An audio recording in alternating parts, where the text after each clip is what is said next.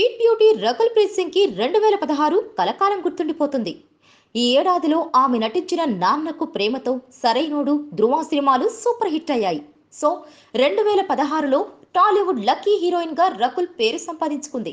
ఈ రోజు విడుదలైన ధృవ చూసిన వారందరూ కథ రామ్ చరణ్ అరవింద్ స్వామి నటనతో పాటు రకుల్ అందాల ఆరబోత గురించి ఎక్కువగా మాట్లాడుకుంటున్నారు.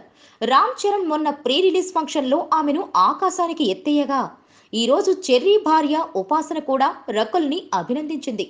పరేషానురా పాటలో చేసిన స్కిన్ షో ఇంతకు ముందు ఏ చిత్రంలోనూ ఆమె చేయలేదు. ఈ పాటలో అంత హాట్గా కనిపించడానికి కారణం ఏంటని ఈ భామను ప్రశ్నించగా నవ్వుతూ సమాధానమిచ్చింది. ఈ సినిమాలో రామ్ చరణ్ సిక్స్ ప్యాక్ బాడీతో చాలా హాట్గా కనిపిస్తాడు.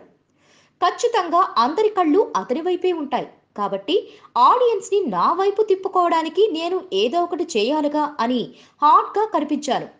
అసభ్యంగా లేనంత వరకు గ్లామర్ విందు చేయడానికి నేనెప్పుడూ సిద్ధమే అని రకుల్ స్పష్టం చేసింది. ఇప్పుడు ఈ beauty super star Mahesh Babu mega hero Sai Dharam తేజ్తో పాటు యువ సామ్రాట్ నాగచైతన్య సరసన కూడా నటిస్తోంది.